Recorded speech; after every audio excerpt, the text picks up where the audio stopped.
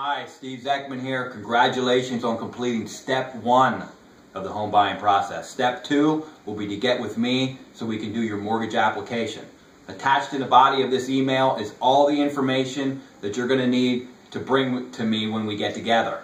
Check your schedule over the next couple days. If you have any questions, comments, concerns, give me a call. Until then, talk to you soon.